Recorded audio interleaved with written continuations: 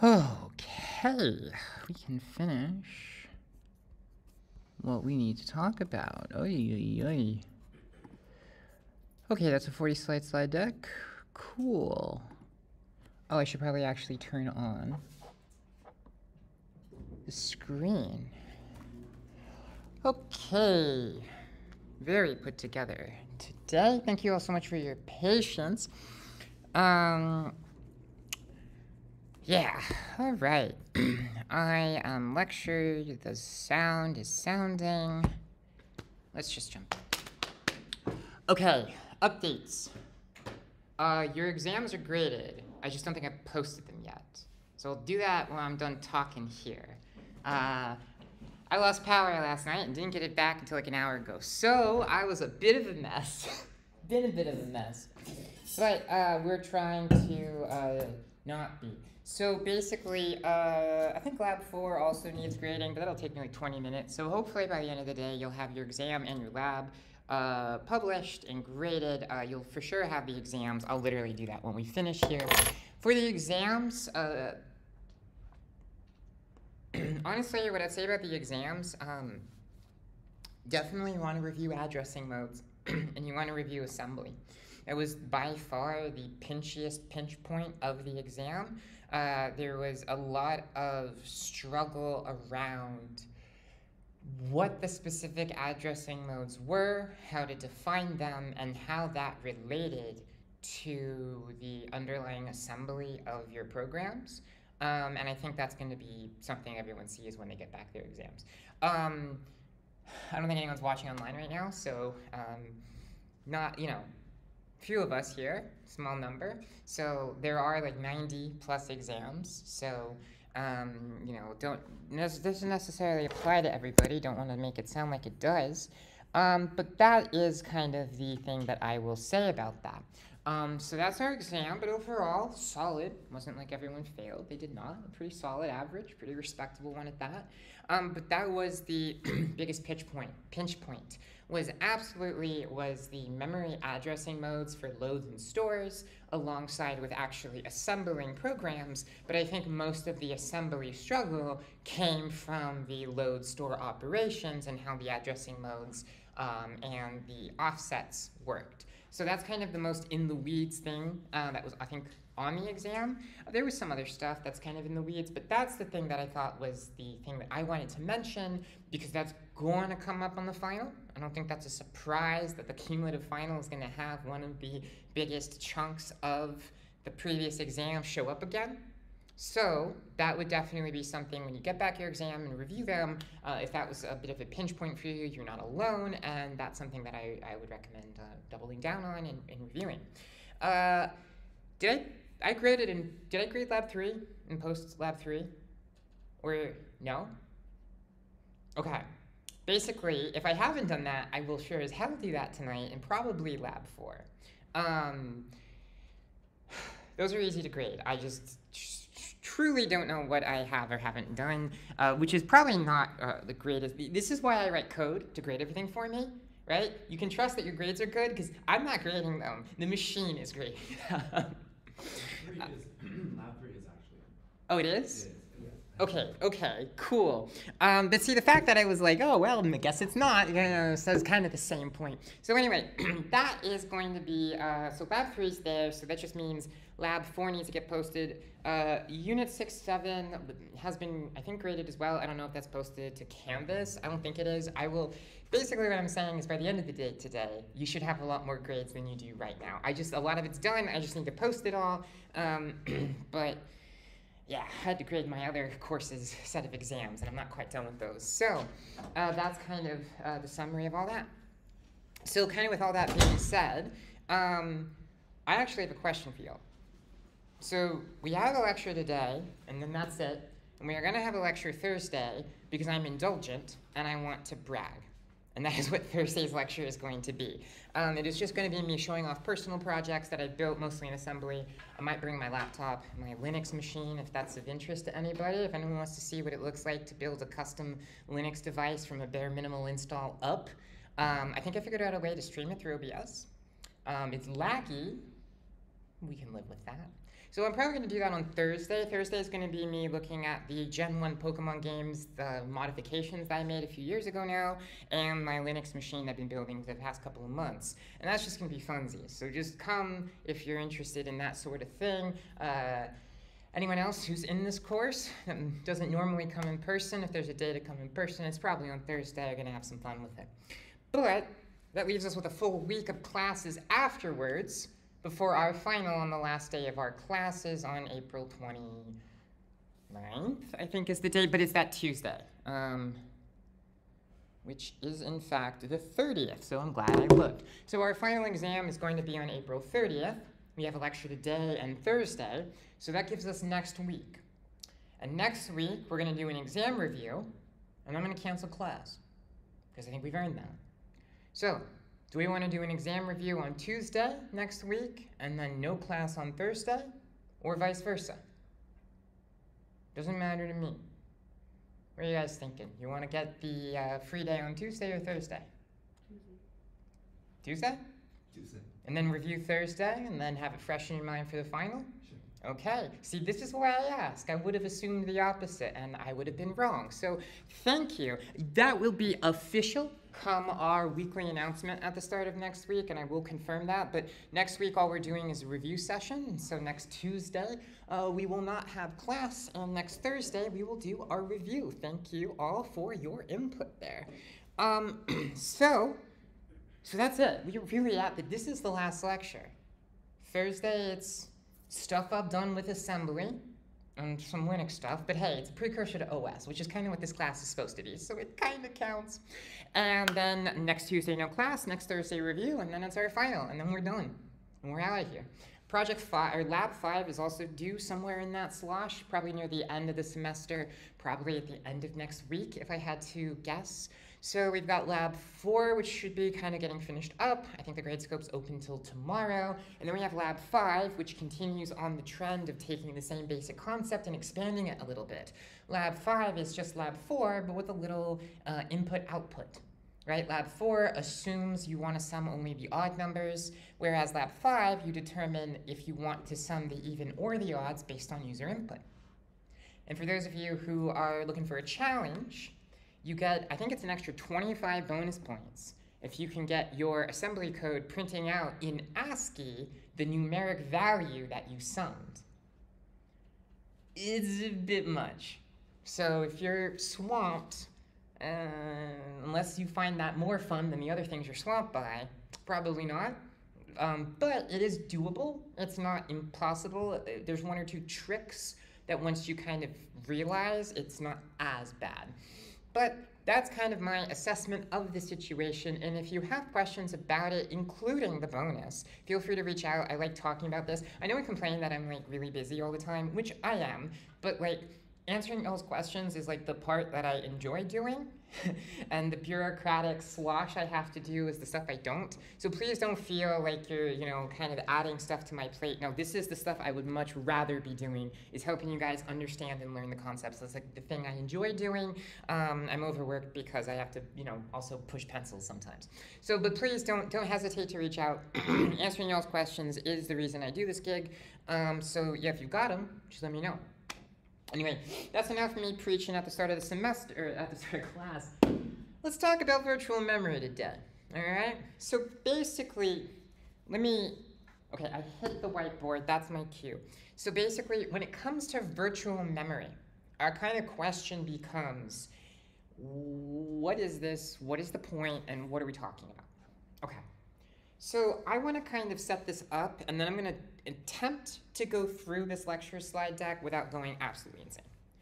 So we talked earlier in the past two lectures about cache memory, right? And we talked about it in the concept of the trip from the CPU to main memory to RAM is relatively a pretty long journey, right? And the CPU runs a lot faster than we can retrieve instructions and data from main memory. So the idea is to leverage the principle of locality, both uh, spatial and temporal. I'm adding a syllable there, don't worry about it. um, and to leverage those two versions of locality in order to grab recent and likely needed recent likely soon again needed data and instructions and store them in cache memory which is closer to the CPU and can be accessed faster. The idea being that if something is in a cache, we can quickly access it rather than going all the way to main memory. All right? But the issue kind of that we uh, saw at the end of lecture last Thursday was that these caches are relatively small, right? You can only store a small fragment of the data that you can store in all of main memory inside of one of these caches. So we have to have some type of scheme or algorithm to, you know, evict or kick out data from the cache and put new data into the cache. Okay? And that's kind of the underlying premise. The premise of caching is that idea, is the idea that we have smaller little repositories of computer memory that store recently needed or likely to be needed data and instructions. So, what does this have to do with virtual memory?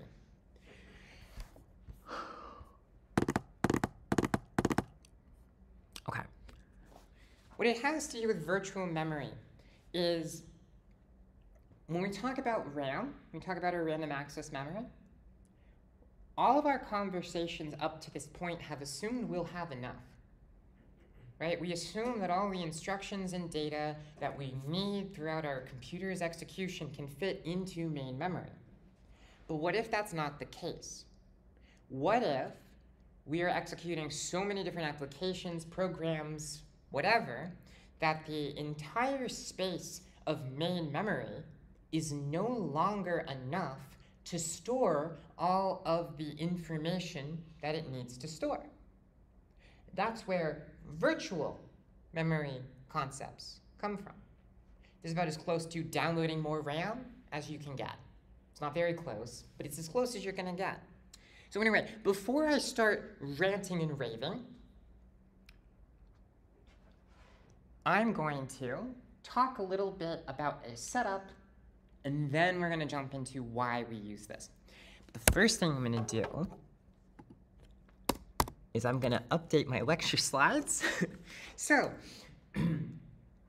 basically, the way we have been talking about memory addressing up to this point is a system which uses physical addressing.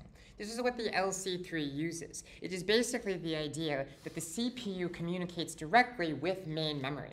So in the LC3, right, the CPU uh, sent a memory address to the memory address register, the MAR, and then it told memory, query this.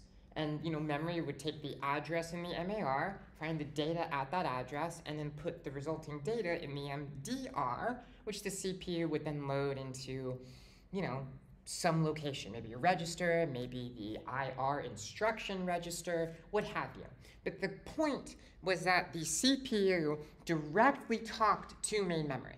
It sent addresses to the MAR and it retrieved data from the MDR. Now, that's good for the LC3, right? It's a learning computer, and I, you know, and having the CPU talk to memory is a lot simpler, and it allows us to focus on the important issues at hand. But it does turn out that this mechanism in 2024 is only really seen in cost-reduced or super simple hardware. Most modern machines, like your phones, your laptops, do not do this for a variety of reasons. Okay? what they do instead is they use something called virtual addressing. Okay? So instead of physical addressing, where the CPU talks directly with main memory, you have virtual addressing. Okay? Where what happens is the CPU talks to the MMU, and the MMU talks to main memory. The MMU, Memory Management Unit. Okay, almost didn't have that one.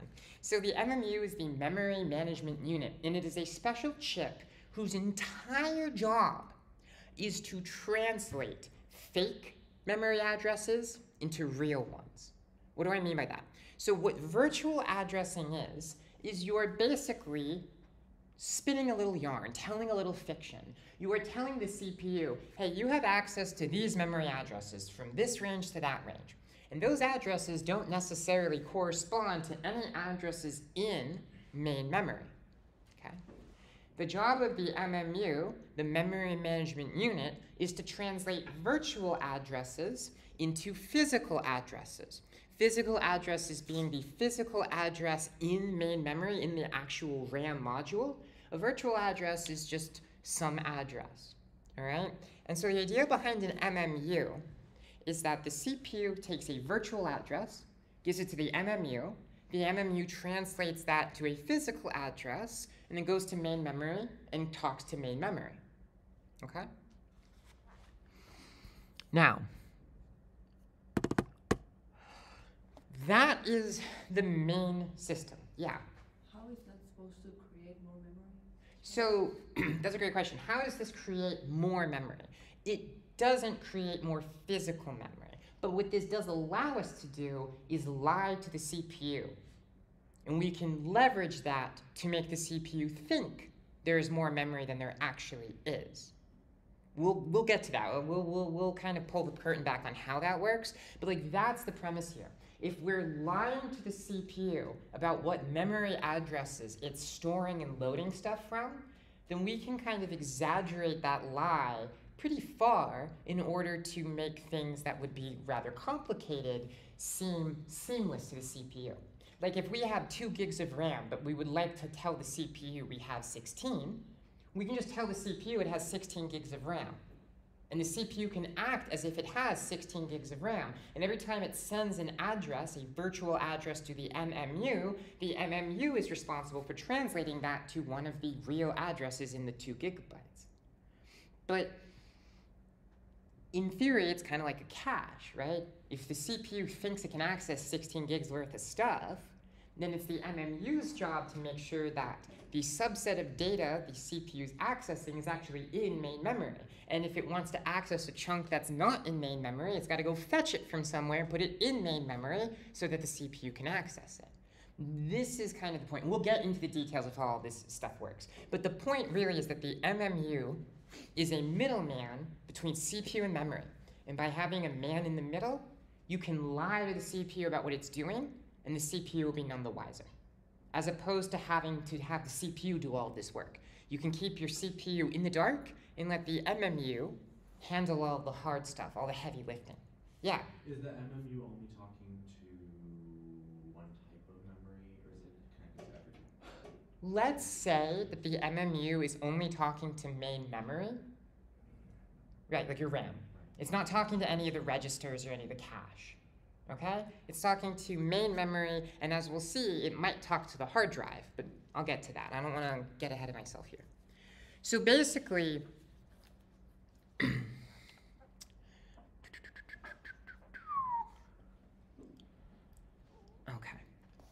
I don't want to get too into this, but you basically have virtual address space and physical address spaces, right? You basically have the idea that you have the virtual addresses, all the addresses that the MMU says you have, and you have all the physical addresses, the addresses that are actually present in the main memory. And because virtual addressing and physical addressing are distinct, and the MMU just translates between the two, this allows for some interesting things to happen. For example, an object could have multiple addresses, right? You could store an object in main memory once, and then have multiple memory, virtual memory addresses point to the same physical location in memory.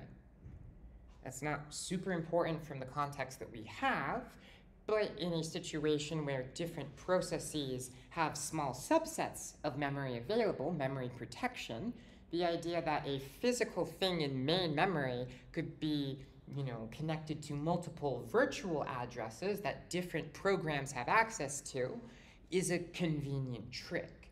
Again, this is going to be more important in operating systems, so I don't want to get too into the weeds with context you don't have yet. It's kind of a weird place to talk about this, but it's better than anywhere else, really. So this is kind of the idea. We have the virtual addresses that the CPU is going to think about and live with and exist with, and it's going to talk to the memory management unit, And it's the MMU's job to translate those virtual addresses into physical addresses in main memory. So, why? This, I think, is good. So, it uses main memory more efficiently, right? So, I'm ignoring use DRAM as a cache. It just it allows main memory to be used more efficiently, and it simplifies memory management. So here's one thing I want to say. The MMU makes a lot less sense from the context we're coming from, where the LC3 ran one program and then terminated.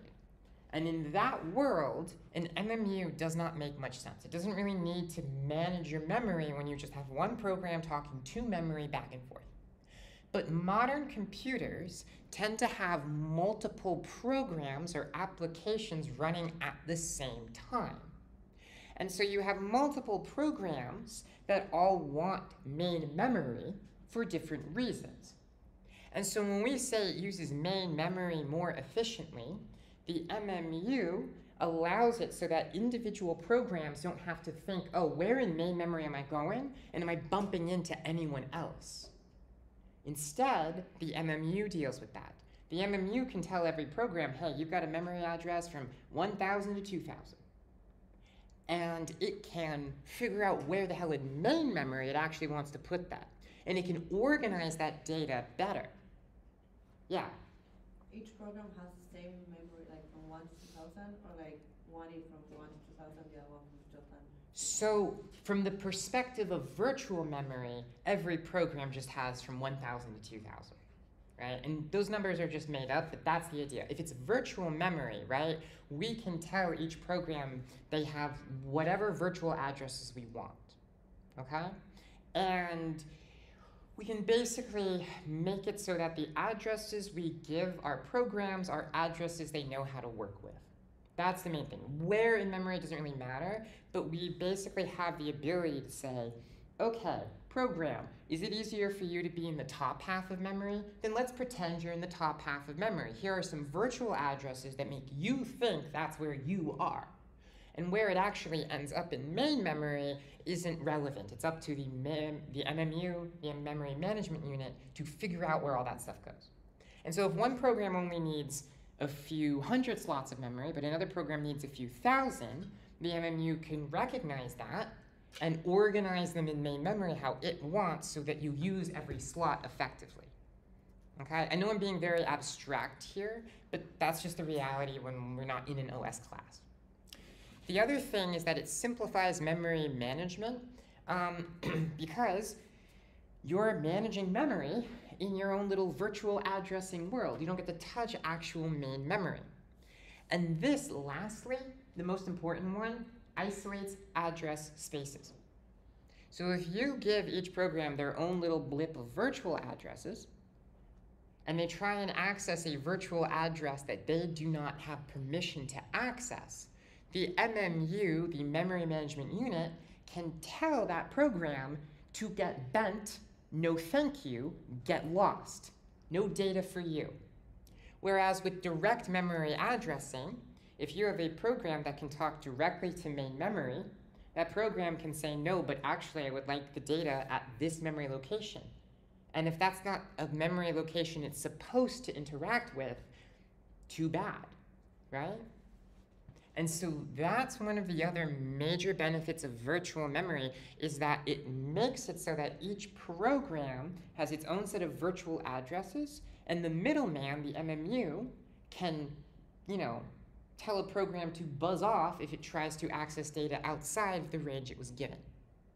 This is really important because A, it means that different programs can't interfere with each other.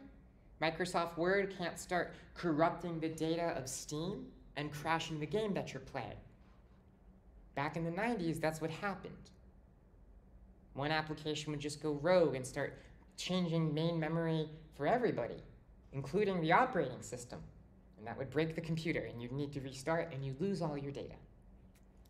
So, having a memory management unit that prevents programs from accessing data they're not allowed to access makes things more stable. And it makes things more secure because a user program can't go and access operating system data because the MMU, the memory management unit, the middleman, will see that a program is trying to access a virtual memory address it's not allowed to access, and it will just reject the request outright. Right? The MMU has a brain, main memory doesn't. Main memory just takes an address, finds the data at that address, and gives you the data back. Right? MMU is not thinking beyond that. Or excuse me, the main memory is not thinking beyond that. The point of the MMU is to be a bit of a bodyguard, to think, oh, this virtual address comes from this program. Well, they do have the legal right to access this data. So I'll go talk to main memory about this. Oh, this program wants this data? Oh, you're not allowed to have that. Yeah, good luck, goodbye. Here's all zeros. Here's an error message. Go deal with that. Right? That's the main benefit. So let's start by talking about VMs as a tool for caching. Oh my god.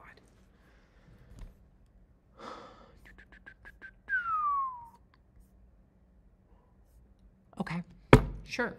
so, virtual memory is an array of n contiguous bytes stored on disk. The contents of the array on disk are cached in physical memory. These cache blocks are called pages. So, let's translate that. Basically, the idea is that we can break up main memory into series of just chunks that we call pages, okay? So a page is just a chunk of data that gets stored in RAM. And the idea is that virtual memory is just an array of pages, okay? All of the pages that the system needs. So that is all of the pages or memory chunks every program on the hardware is using, accessing, needing. Okay? And so the idea is that in virtual memory, we can just think of all of the pages listed out in order, linearly. But virtual memory can have more pages than there are slots for pages in physical memory. And so the job of the memory management unit is to basically take specific pages of virtual memory and place them into main memory.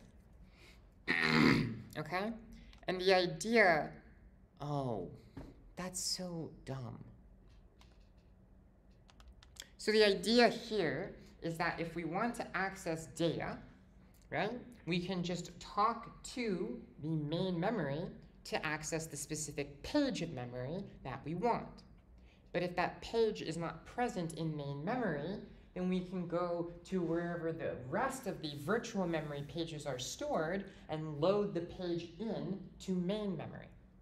This is the same principle that the caching that we saw last Thursday utilized, right? For the cache, when the CPU wanted to access main memory, we put caching between the CPU and main memory so that the most recent data could just be accessed quicker, right? And it turns out that we actually kind of use the main memory for a similar purpose. Virtual memory is all the potential memory pages that the system has to offer, and for convenience, the system offers more pages than there are physical slots in main memory. And it is up to the system to recognize which pages are needed and put them into main memory and which pages aren't being used right now and store them somewhere else, traditionally the hard drive. Okay? So that's the idea.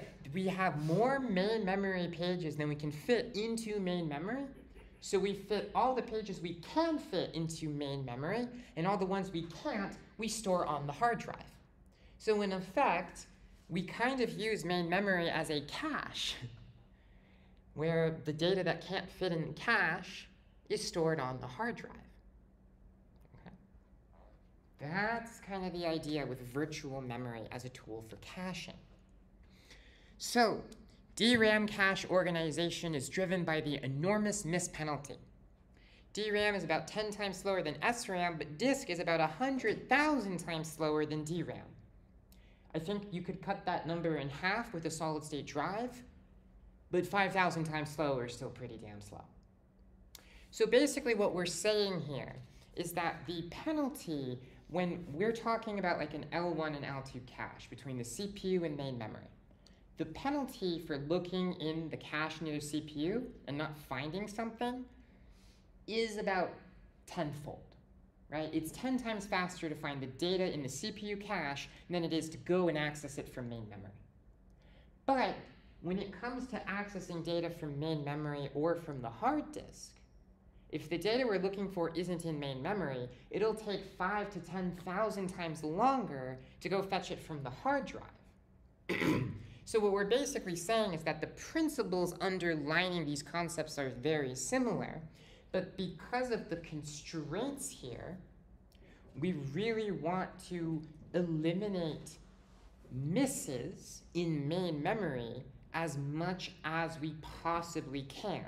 Because if we look for a page of memory in you know, RAM in main memory and it's not there, it's going to take a long time to go get it out of the hard drive and put it into main memory. Okay?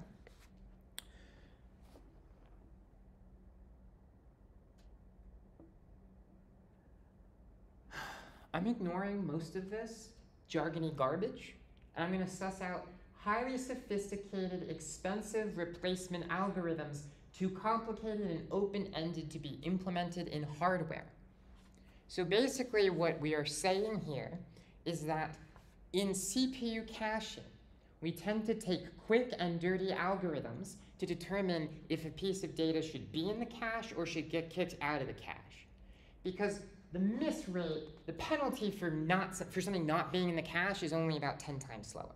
It's not the hugest deal if we miss something in the cache. Whereas because the miss for something not being in main memory is so much more extreme, we tend to have really sophisticated, complex replacement algorithms in order to deal with this. This is a big part of what your operating system's job is going to be. Your operating system is going to be in charge of managing virtual memory it's going to be in charge of being like, okay, what pages should be in physical memory and what pages should be in the hard drive. The MMU is the physical chip responsible for handling this, but the algorithm and who makes the call of what pages go where is something your operating system is responsible for. And that's just a super complicated ass thing. Okay? So that's kind of the concept that we're building off here. So. So this is just an example of this that I am uh, going to try not to butcher. so basically the idea is we have a page table, uh, which is an array of page table entries that maps virtual pages to physical pages.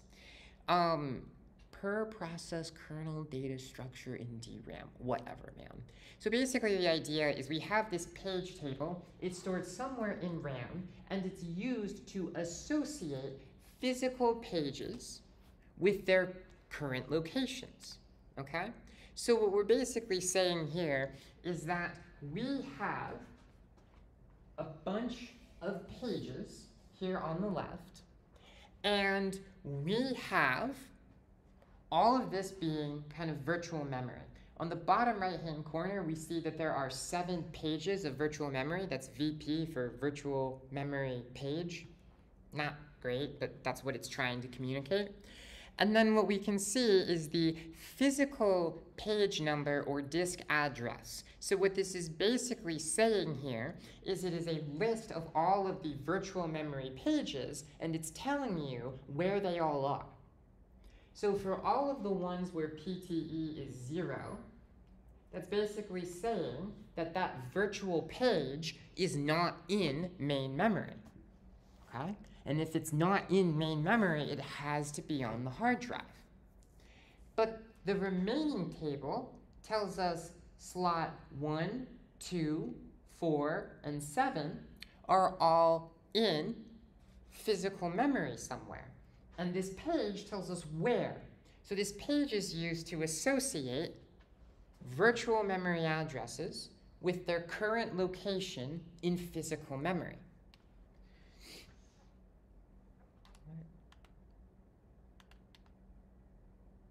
Yes, one, two, three, four, five, six. Sure. You just skip that ambiguity. So the idea is a page hit is a reference to when we look for a page and we find it in physical memory, right? We look for a page, we find it in physical memory. It's there, it's fast, it's quick, no questions, no problems. So we have a virtual address, which we go and we look up at the page table. We find that the virtual address translates to a page in physical memory. So the MMU can then just go to physical memory, get the data we need, and give it to our program. A page fault is a reference to virtual memory that is not in physical memory. So here, if we get the virtual address of this page right here, which we can see is on the hard drive somewhere, but is not actually present in physical memory, we know we have a page fault. We are looking for a page in memory which is not in memory. So what do? Well, to handle a page fault, a page fault handler selects a victim to be evicted. Computer scientists have been picking the worst terminology for literally everything. I genuinely cannot get over it. Um, and so here, the page fault handler, which is just a very cute way of saying super complicated algorithm we're not getting into right now. The page fault handler selects uh, a page to be evicted from physical memory. In this case, it just picks VP4. And, okay, and then it swaps them in, all right? And now basically what it's saying is it says that page 3 is now slotted in physical memory and page 4 is copied back to the hard drive. And so now, if we look up this virtual address a second time, if we want to access page number 3, we take the virtual address for page 3, go to the uh, lookup table, we find that page 3 is now in fact in main memory. So we access that data and we retrieve it and send it off. Page hit. So a concept here that I want to kind of note is that this behaves in the same way as caching, in the sense that if there is a miss, it does not get the data from you know the farther away place and then give you that data. If there is a miss, it stops the instruction, finds out what data you needed, loads it from the farther away place into the closer place, and then reruns that instruction a second time, knowing that now that you've moved data around, the second time you execute this, it won't be a miss, but it will be a hit. It's a subtlety, but that's how both of them are operating. So,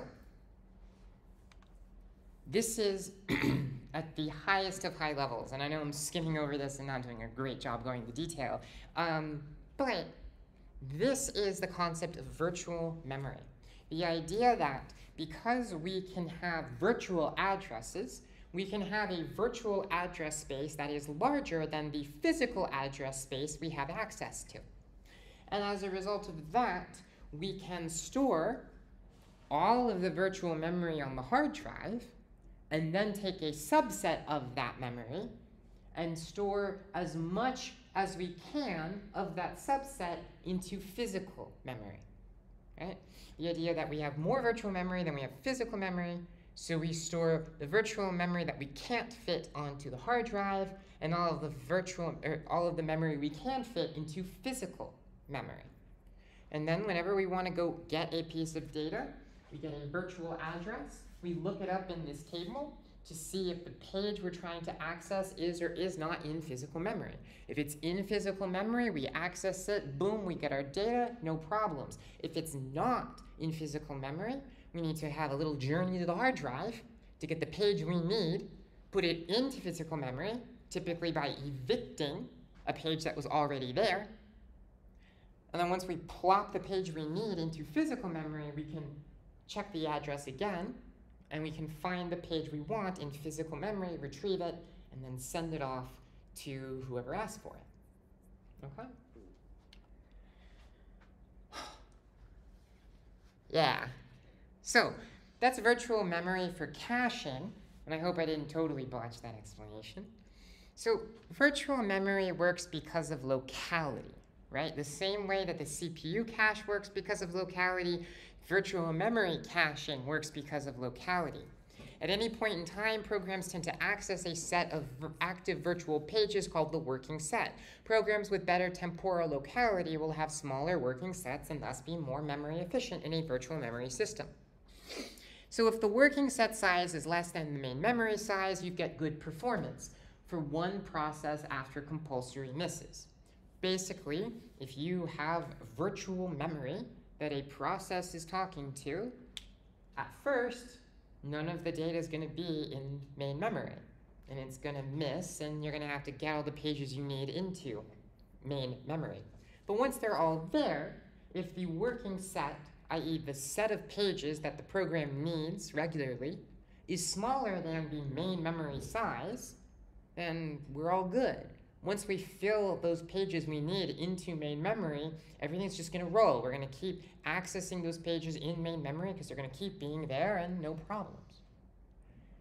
But if the working set size becomes larger than main memory itself, that's when we have what is typically a calamitous result, which is something called thrashing a performance meltdown. I love how dramatic whoever wrote these slides was. A performance meltdown where pages are swapped in and out continuously. And remember, going to the hard drive is a hell of a long time, relatively, in computer time. It takes five to 10,000 times longer than just talking to main memory.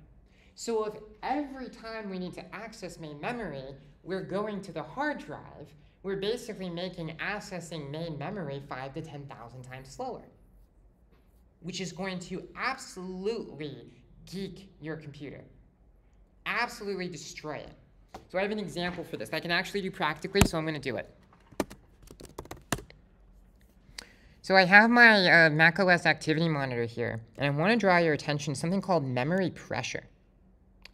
Memory pressure is a quirky little thing that Mac OS does. No one else really does it, I don't think. But the concept is important all the same.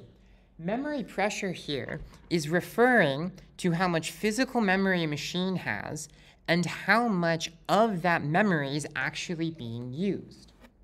The idea is, roughly speaking, if the memory pressure is in the greens, then you've got physical memory available so you don't have to worry about, you know, running out of space. You've got room for more pages to be put in physical memory. But once memory pressure gets to the yellow color, once the graph gets a little higher, what that's basically saying is main memory is full. All right?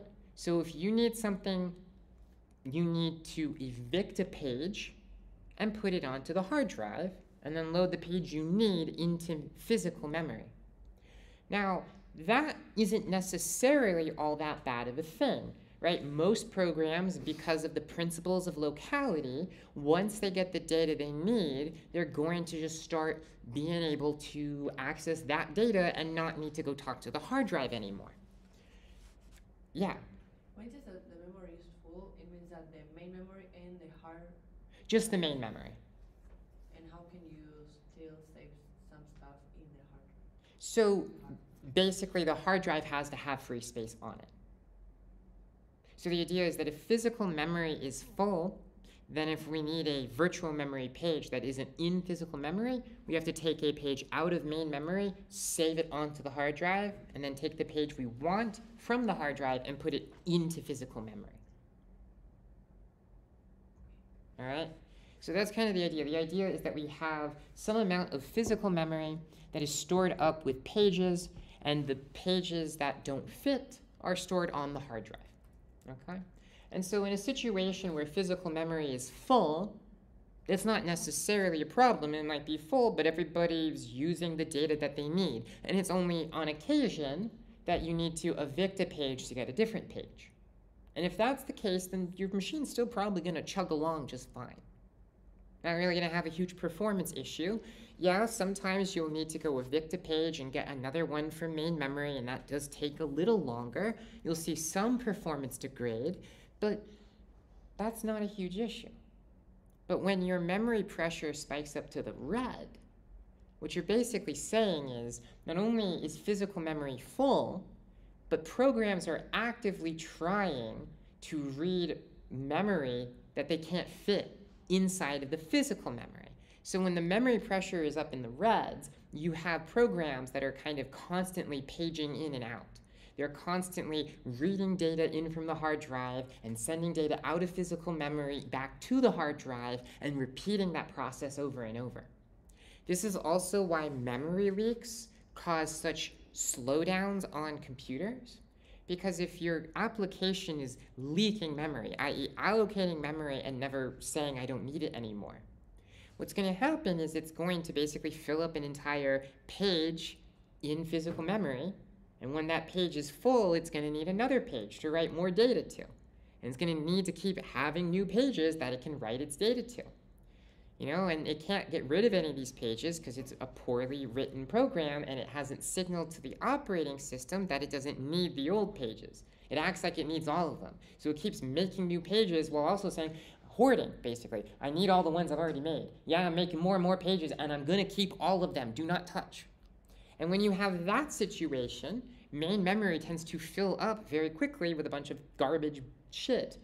And you create a situation where an application keeps being like, I need a new page, I need a new page, I need a new page. So you force the operating system to copy page after page after page out of main memory onto the hard drive and pull page after page after page into physical memory. And that slows things down a lot.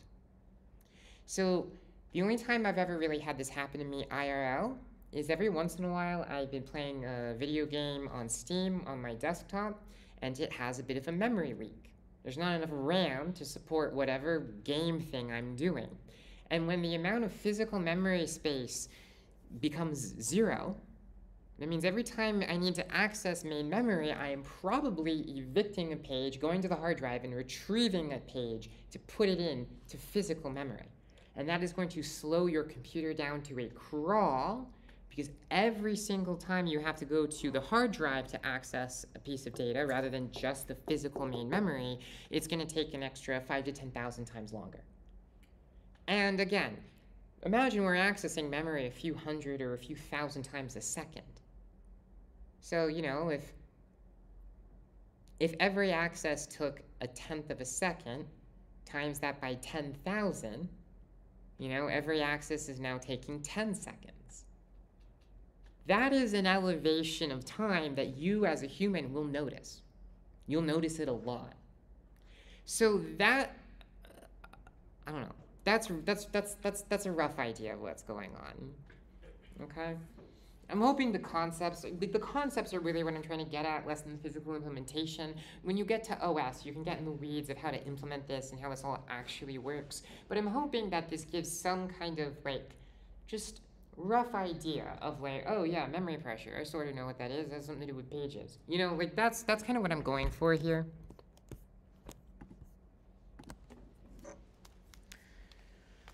Um, doo -doo -doo. so that's virtual memory as a tool for caching. It allows us to, you know, basically pretend that there is more physical memory than there actually is. Also, I want to note that for caching, this is very beneficial for a lot of modern applications like, say, Firefox or Chrome, because again, like the bad habit I am, I tend to keep open a Firefox with like 300 tabs, all right? Each tab has its own main memory requirements. But I'm not looking at all 300 tabs at once, right? Most of them are hidden away. And so the nice thing is, if I open up my Firefox with 300 tabs, the memory for 200 plus of those tabs can be stored on the hard drive. Because I'm not looking at that tab right now, that memory, while we need to keep it around in case I do open that tab, if the tab's not open, I don't need to be looking at that memory in that moment. So we can actually save space, right? We can tell Firefox you've got 32 gigs of memory, but because it doesn't need all 32 gigs at the same time, it only needs a gig at a time, it just uses those other 31 gigs to store data for tabs that you might open up later. You can offload that 31 gigs of data onto the hard drive while still telling Firefox it has 32 gigs and allowing Firefox to be comfortable with having 200 plus tabs open. Whereas if you told Firefox, hey man, you only get a gig of physical space, and once you're out of that, there's no more room. Firefox wouldn't be able to open more than a handful of tabs before it complains, hey, there's no more room in main memory for me. I can't open a new tab. I don't know what I would do with all the data. Close a tab out first, free up some memory, and then I can open a new tab. But because we have virtual memory, if there's tabs that aren't closed, and we might need that memory later, but the tab isn't being seen physically right now, we can take all that tab's information, all those pages, and copy them onto the hard drive, freeing up space in physical memory. If we ever open that tab up again, we can just pull those pages back onto main memory. But if that tab stays closed for an hour or a month or a year, you know, Firefox still knows that data is there somewhere, It doesn't panic, it doesn't freak out, but it's not wasting space in physical memory, which is a scarce resource, and it's a valuable one. Okay. 422. I've been ranting. So, um, I mentioned this a little bit. I don't think I'm going to go quite as in depth. I wanted to go through the caching thing a little bit more just because it tied to the other caching we were talking about, and I think that's one of the more interesting things of virtual memory. Uh, VM as a tool for memory management, we're going to go a little quicker through. So basically, the key idea is that each process has its own virtual address space, and it can view memory as a simple linear array. Mapping function scatters addresses throughout physical memory because well-chosen mappings simplify memory allocation and management. So for, again, reasons that aren't super clear because the complexity we're talking about goes from the LC3 where everything is simple enough that we as just individuals can kind of look at, comprehend, and understand, at least to a degree. We're talking about modern complex machinery. So I'm hand waving a lot here because the jump in complexity from what we normally talk about to the, this unit is like huge. It's not, doesn't fit super well here, but they wanted it somewhere so that you're not completely never seen this before before smacking into OS. Okay? So that's why this feels like a bit of a jump. It is. so that's kind of the rough idea though. If we have multiple programs, each one of them can have their own virtual address space, which just makes it from a programmer's perspective easier right? If your program just has a linear address space to work with, you as a programmer have less to think about when you're writing your code. Good. But the physical address space, we can move stuff around, put pages wherever the hell we want, so that the physical addresses can be utilized in the most efficient way possible. Why is, you know, mishmashing all of these pages in physical memory more efficient? Great question. Don't have a good answer. But it is. All right, usually from a lot of just convoluted, complicated reasons of, you know, different applications might see memory as linear, but then only access pages 1, 3, and 9. Even though they want the remaining pages just in case they need them, they're only really talking to three of them. And you could, in theory, in physical memory, put those three pages next to each other and then just ignore the rest. Like, you've got a lot of options, is my point. Um, also, sharing code and data among processes. When you have virtual memory, as I kind of mentioned, you can theoretically have two different programs with two separate chunks of virtual memory, and you can associate two separate virtual memory chunks to the same piece of memory in main memory. This is really great because if two programs have their own virtual memory, they're not going to be able to talk to each other, right? The point of each program having virtual memory is to kind of isolate them from everyone else. And so by overlapping two virtual addresses to the same physical address, what you're basically doing is allowing either two programs to talk to each other by storing and receiving and reading and writing data to the same physical location, or in this example, maybe both programs use the same read-only library. Maybe they both import the same standard library from C or Java or something. And virtual memory allows for that library to be stored in main memory one time and one time only, and just have multiple virtual addresses point to that same library in main memory. So this prevents you from duplicating the same code in main memory, right? That's all I have for that. just kind of a rough concept. Again, this makes this is going to slot in better with OS when you actually talk about multiple processes and why you have them. I don't love that this is here, but this was what I was told to teach. And this is in the syllabus, so I can't cut it. Anyway, VM, virtual memory as a tool for memory protection. this is the only slide. Oh man, extend PTEs with permission bits. If page fault handler checks these bits before remapping. I kind of already implied this with some of my earlier discussions. This is just saying you need more bits to do it. Basically, when it comes to virtual memory addresses, you can add a little extra information in the form of some extra bits to basically let everyone know what they're allowed to write and read to. So by doing this, you are basically saying, hey, program, you have some virtual memory here, and if you try and access a virtual address outside of it, you're not going to be allowed. So this is just really beneficial because it allows for you to have a lot more control over what parts of memory a specific program does or does not access. Okay? Again, I want to really emphasize that this is something that is kind of taken for granted in modern computing, but wasn't always the case. Modern computing, a program is given by the operating system a little chunk of data which it then executes, and it can't leave that little barrier space Otherwise, it gets yelled at. It gets told no. But before this system existed, a program could just read and write any piece of data anywhere in main memory, even if it was used by another program, even if that other program was the operating system. So not only does this make things very unstable, right? If your terrible program decides to go write data where the operating system is storing operating system stuff, right? You might break everything. Everything crashes. Everything goes up in flames. But even worse than that is there's a security implication. If any program can read and write any piece of data in main memory, it's not that you might accidentally override operating system data. Maybe somebody intentionally and maliciously adds a little extra code in the operating system so that it logs all your keystrokes and sends them back to a server somewhere. Right? Because without memory protection, there's nothing stopping a random program that you open, that you download offline, from accessing the main memory where the operating system is being stored and changing the code that the operating system executes.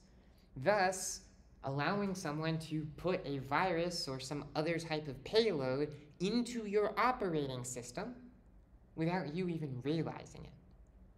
Which for most of us isn't a big deal, well, actually, it would be. If virtual memory wasn't a thing, people would probably do this a lot more than they do.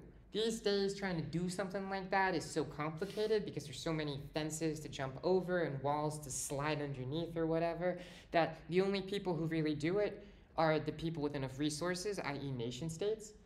Individual programmers tend to not figure this stuff out, like it's just too much. You need too many puzzle pieces, there's too many gates to lockpick. Right? Any good programmer can probably pick a single lock on a single gate, but if you've got to get through 25 of them and not get detected, you're probably going to need a team. That team is probably going to need to be well paid and well motivated. And what better than a government paying well and the motivation being nationalism? And it's why you see a lot of the major attacks that come out these days that circumvent all these layers of security that the industry has built up over the past couple of decades almost always are attributed to some state actor. China, Israel, North Korea, the United States. These are the names that you see floating around as the purveyors, Russia, of massive um, security attacks, right? Because nobody else really has the resources to, to circumvent all of these uh, safety features. And that's a good thing, by the way, because with all these safety features, any random person with a laptop can start trying to break into your operating system and steal your data. We wouldn't, like, the reason the internet is a broken fucking mess, there's a lot of reasons, but one of the reasons is that we learned that everything should be free because nobody could figure out how to do payments on the internet because nobody trusted their payments to not be intercepted and stolen. So the only way to make money on the internet was to sell ads.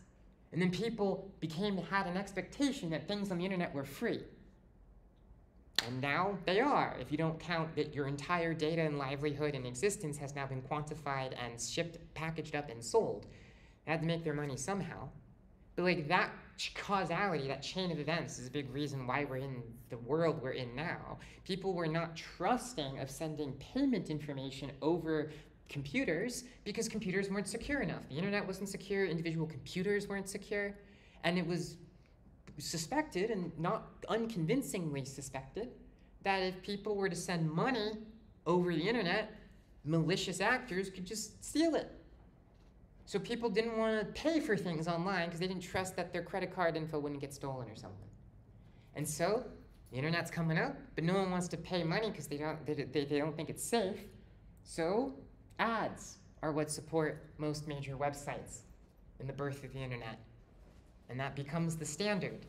And then Google, and now 2024 in our pretty dystopian internet world. Yeah. Sorry, what is this soup? Uh, I have no idea. It's some security flag. I don't know what it stands for. Um, yeah, I have no idea. I'm sure if you Google it, it's going to come up. A lot of these are general terms, but these aren't good slides and they're a little over my head. That's why I'm kind of having a little loosey goosey fun in like later April. I want to expose you guys to these concepts, but as you see on the study guide for Unit 9, I'm very explicit about what information this is going to show up on the final. Don't expect me to randomly, like, oh, what, what do these all mean? Like, I'm not going to do that to you guys. I know this is kind of a free form, kind of me kind of ranting a little bit, and the exams will correspond to that accordingly. Okay? I know I know if I'm gonna if I'm gonna give lectures like this, I'm not gonna expect you guys to I mean I'm gonna be very explicit about what information I want you to take from it. At least in terms of an exam and, and that type of explicit regurgitation. The rest of this I hope just sinks in enough to be interesting. Um, but yeah. Lastly, uh, I talked about address translation. We can kind of go through this a little bit, but this is kind of the end of it. I mentioned this already, but the idea is the processor sends a virtual address to the memory managed unit. The memory management unit fetches the uh, PTE from page table in memory, and then the MMU sends the physical address to the cache and memory, and then the actual data is sent back to the processor. So this is what I was describing. The only real extra step here is that the MMU first reads that table that I mentioned earlier from main memory, then looks at that table to determine where, oh, is this virtual address in physical memory or is it in the hard drive or whatever. And once it figures that out, if it's in main memory, the MMU just goes and tells main memory, hey, go get this data, and then main memory sends that data right to the CPU. So basically, instead of the CPU asking memory and getting the data, the CPU asks the MMU. MMU does a few steps to verify, hey, is the data you want actually in the physical memory? Oh, it is? Cool, okay, here you go.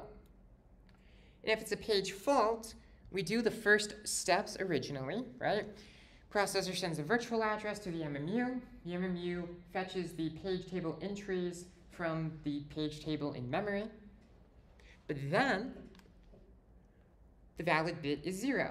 We recognize that, oh, we looked at the page table entries and the page we wanted is not in physical memory. So the MMU triggers an exception or something, right? And then what happens is the handler identifies a identifies a page to be evicted. I'm not gonna say victim, fuck that man. So basically, if the page we're looking for isn't in main memory, an exception is thrown, and the handler, which catches that exception, will then determine a page to evict from main memory, and then it will find the page it actually wants in the hard drive and copy that from the hard drive onto main memory. And then it will update the page table entries so that the page table entries indicates that the page that was evicted is no longer in main memory and the page that we copied in is now in main memory.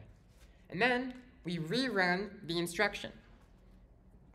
And we, we redo that same um, memory access, except this time, the second time we do it, because we've done all of these steps, the data is actually going to be there.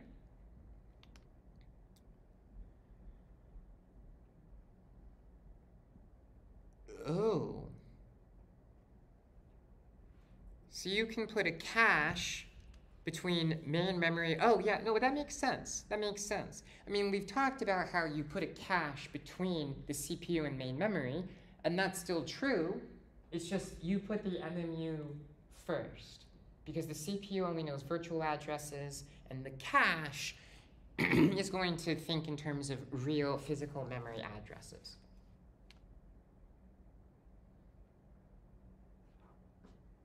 No. Absolutely not. I'm not I'm not talking about this. I'm done.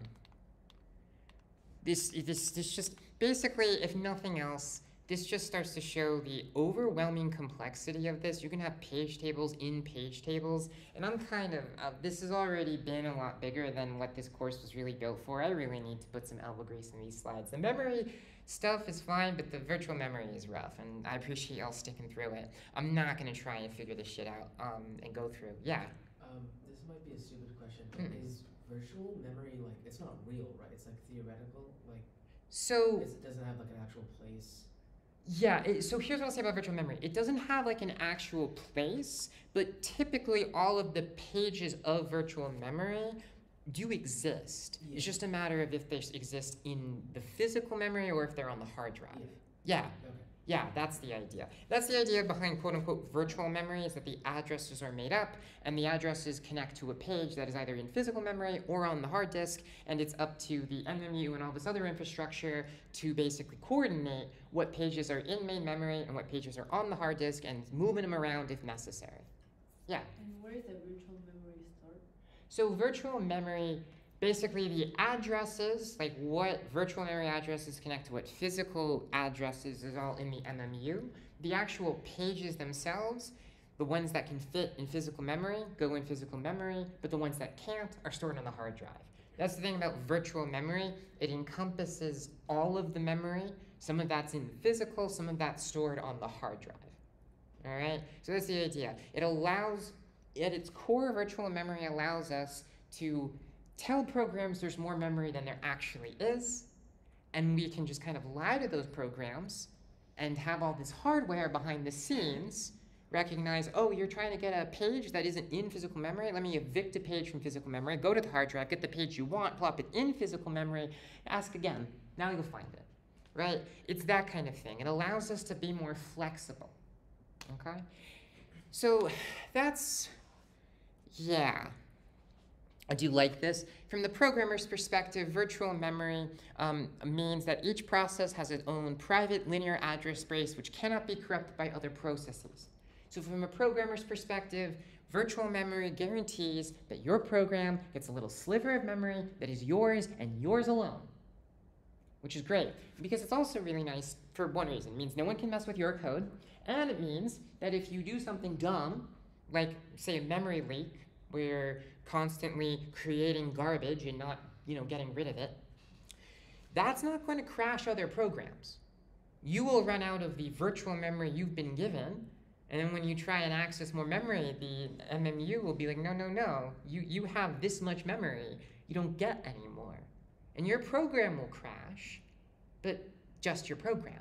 Whereas without virtual memory, you might start accessing data that you're not supposed to, but still can technically, and you mess up everything for everyone else. Okay? So that's a nice benefit from a programmer's perspective. The worst case is you screw up your code and your code only. Because trust, you wouldn't like, it's much better for your program to just crash than to crash and take the whole OS down with it. Alright? People are gonna still be mad at you, but they're gonna be a lot more mad at you if they if you geek the whole OS. Or hell, even corrupt it. Right? You could crash the operating system, you could permanently break the damn thing. Right? And people are gonna be big mad. Look, you can find forum posts from late 90s, early 2000s. They're still there. They're still kind of in the intermediate stages of web rot and decay. And you can find people being like, hey man, downloaded the app, ran it, did something sort of weird, but not that weird, and now Windows won't boot. I needed to reinstall my operating system. Oi, fix this bug, asshole. Like, people get livid, and somewhat justifiably. That doesn't happen in 2024. You never download a program and then need to reinstall your OS afterwards. And if you ever do, you're almost certainly like, okay, I shouldn't have downloaded that. I had to click a lot of, are you sure? kind of prompts. And I said, fine, right? Whereas back in the day, without all this virtual memory stuff, yeah, you might have downloaded some, some guy's application and it might have bricked your operating system. Not just crashed, bricked it. Overwrote data Microsoft needed to boot. And now Windows is completely geeked and you need to reinstall it. Which also was harder because that was in the day where you need product keys for everything. It's better hope you didn't lose yours. Anyway, uh, yeah, it's not too much of an exaggeration when it says the MMU was radical. Um, yeah, system it makes things better for the system. Yeah. what is the MMU structure most similar to? Like a CPU, or like what is that? Uh-uh. The MMU's structure it is its its own piece of hardware. The MMU is its own chip, it's its own piece of hardware that is explicitly designed to do the task of the MMU. The CPU is interesting because it's designed to be general purpose, right? It is able to take these instructions and do generic work with them. Whereas an MMU, it only has to do a very specific set of tasks. So the physical hardware can be designed to do those tasks, do them fast, do them well, and do nothing else. So the MMU is like a custom-made chip. Um, Yeah. Like the, I really, I really do want to reorient some of this back end um, to really try and. I need to talk with whoever's teaching OS, which has been a challenge because everyone's overworked here. But basically, I want this to off ramp a little bit better because the ramp up in complexity from like the LC3 to modern computing is like a cliff face. Truly is a cliff face. And while I don't want that to be so overwhelming that everyone takes an exam and fails it and gets all upset that they're being asked to like, you know, learn too much too quickly, which is a very reasonable thing, I also do like appreciating the scale of like, no, the LC3 is the basics. That is how everything works. But just like the LC3 can let us add some numbers together. If we want to do enough mathematics to get a 4K video streaming over the internet onto my phone and watch some dude, literally some of the mornings I wake up and there's this tech YouTuber guy lives in North Carolina. He sets up a webcam outside of a bird feeder and just live streams it. And it's cute. He's got like you know woods in the backyard and a lot of cool birds coming through. And like that is an insane amount of computational power on both ends of that and a network transmitting that at a pretty high rate of speed.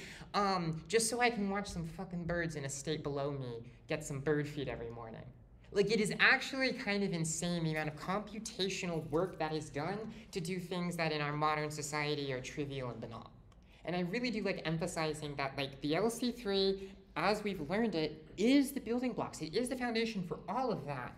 Um, it's just the complexity really ramps up because if you want to make things as complicated and as fast and as secure as they need to be to run a live stream of a you know an active academic lecture and stream it over a network and then save those recordings and post them like that takes a lot of data and that takes a lot of computational ability and so we have complex systems to handle that massive increase in data that we're handling okay I think I'll end it there before I just keep rambling, but that is the end of this. Uh, this is the end of everything. Thank you so much for coming and sticking through, particularly y'all who are coming in person. I do appreciate not having to talk to an empty room. Um, so thank you all so much. We'll do a demo on Thursday. Next Tuesday we won't have class, and then next Thursday we uh, or the Thursday after we'll do our final review. That's it. That's the whole semester. Thank you all so much for sticking through, and give yourselves a pat on the back. Is a lot of fucking work, and y'all have done a lot of great work to get through. So appreciate y'all being here. Uh, have a good one. Bye.